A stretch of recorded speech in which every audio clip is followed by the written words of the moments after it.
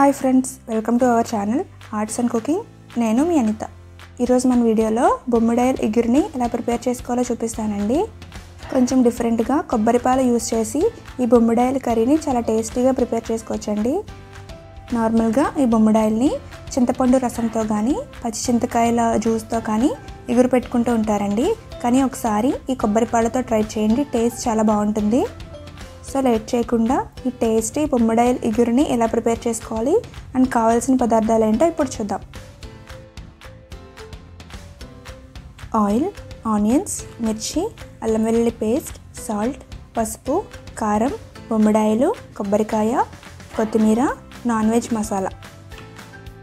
ముందుగా ఒక వెడల్పాటి కడాయి తీసుకుని దీనిలోకి ఫోర్ స్పూన్స్ ఆయిల్ వేసుకోవాలండి. ఆయిల్ కొద్దిగా హీట్ అయిన తర్వాత దీనిలోకి ఉల్లిపాయ మరియు పచ్చిరకాయల్ని ఇలా కచ్చపిచ్చ దంచుకొని వేసుకోవాలి.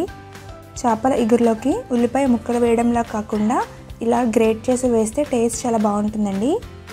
ఫ్రై అయ్యేలోపు మసాలా ప్రిపేర్ చేసుకుందాము. ఒక మిక్సీ జార్లోకి వన్ స్పూన్ లవంగాలు వన్ స్పూన్ ధనియాలు కొద్దిగా యాలకులు దాల్చిన చెక్క అండ్ కొద్దిగా గసగసాలు వేసి ఇవి మెత్తగా గ్రైండ్ చేసుకోవాలి.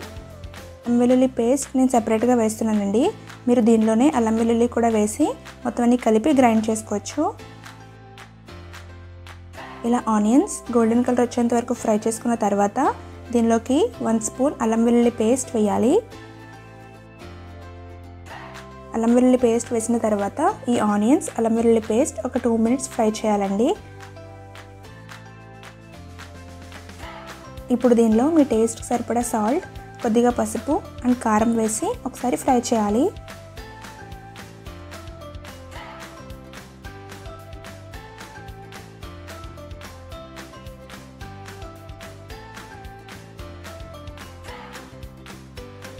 ఇలా అన్నీ బాగా ఫ్రై చేసుకున్న తర్వాత దీనిలోకి మనం క్లీన్ చేసి పెట్టుకున్న బొమ్మిడాయలు వేసుకోవాలి. నేను ఇక్కడ ఇరవై వరకు వేసుకుంటున్నానండి. ఇలా వేసుకున్న తర్వాత ఒక హాఫ్ కప్ వరకు వాటర్ యాడ్ చేసి ఇవన్నీ ఒకసారి మిక్స్ చేయాలి.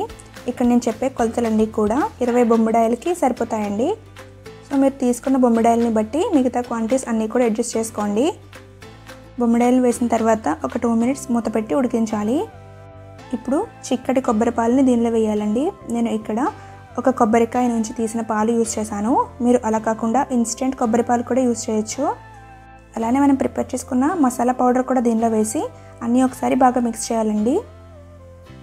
కొబ్బరి పాలు మరి ఎక్కువ వేయక్కర్లేదండి. ఇవి కొంచెం మునిగేంత వరకు వేస్తే సరిపోతుంది. ఇలా మూత పెట్టి మీడియం ఫ్లేమ్లో ఉడికించాలి. ఇలా మీడియం ఫ్లేమ్లో పెట్టి మధ్య మధ్యలో కలుపుకుంటూ కర్రీని ఉడికించుకోవాలి.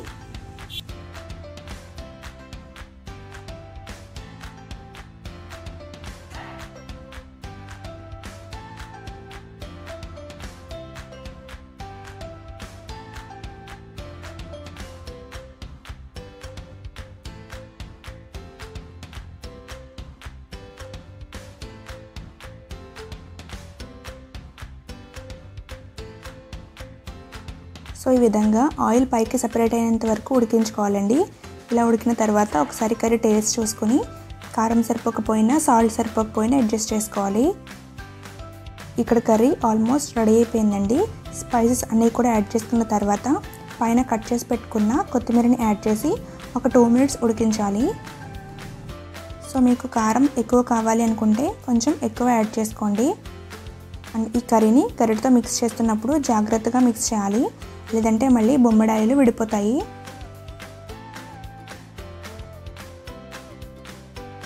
ఇలా కొత్తిమీరని యాడ్ చేసుకున్న తర్వాత ఇలా ఒకసారి మిక్స్ చేసి మూత పెట్టి ఒక టూ మినిట్స్ ఉడికిస్తే సరిపోతుంది.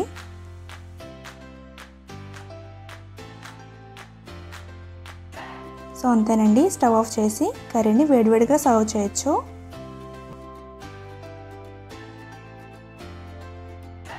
ఈ కర్రీ చాలా టేస్టీగా ఉంటుందండి. అండ్ చేసుకోవడం కూడా చాలా ఈజీ.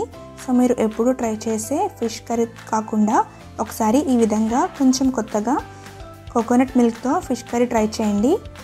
ఇంట్లో అందరూ కూడా చాలా ఇష్టంగా తింటారు. మీరు ఈ కర్రీని ట్రై చేసి మీకు ఎలా వచ్చిందో కమెంట్ చేయండి. మీకు ఈ రెసిపీ నచ్చితే లైక్ చేసి మీ ఫ్రెండ్స్కి రిలేటివ్స్కి షేర్ చేయండి. మరిన్ని హెల్దీ అండ్ టేస్టీ రెసిపీస్ కోసం మన ఛానల్ని సబ్స్క్రైబ్ చేసుకొని పక్కన బెల్ ఐకన్ కూడా ప్రెస్ చేయండి.